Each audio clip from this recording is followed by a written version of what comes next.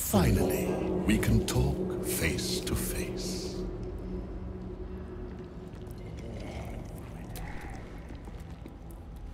No closer!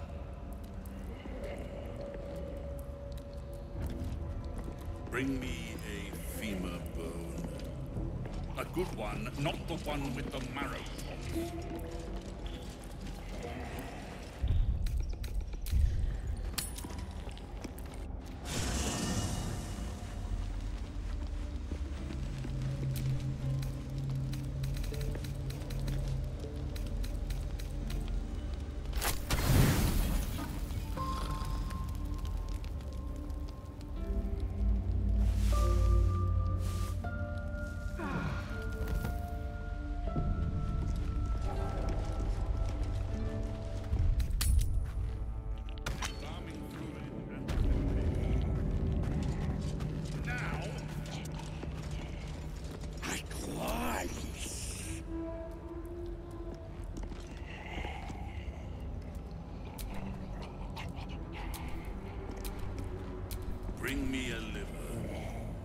And I don't want What to see now? any white marks on it.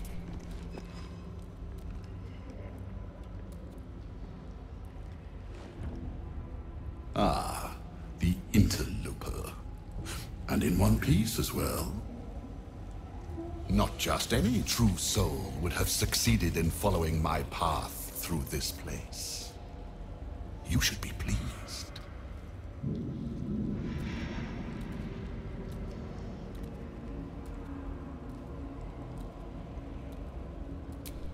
Perhaps you can prove to me that you're more useful alive than dead.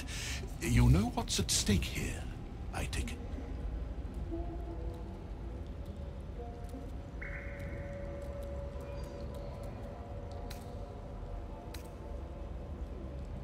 I do not cower.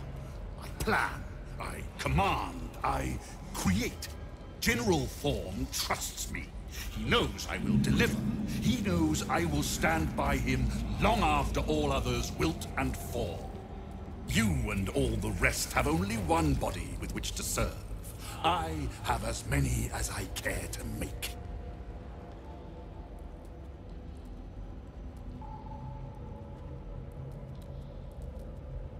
General Thorm to you.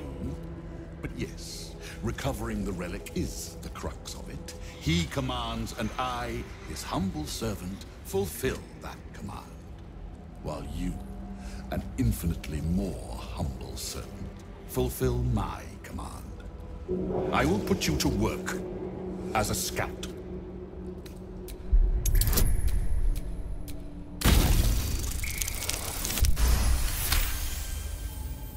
Fine, if it'll spare me your bleating. The relic lends the general his strength, his invulnerability. It must be recovered before his enemies attempt to exploit it. I do not need you or your help. But you are here in spite of that, so I may as well make use of you. The relic is close, but the way is barred and Shar's dead are uncooperative. Clear the path for me by blade, cunning, or whatever it takes. I will remain here until you have succeeded. Or fallen. I'd trust this gas bag about as far as I can throw him, which isn't far. But perhaps better to play along for now.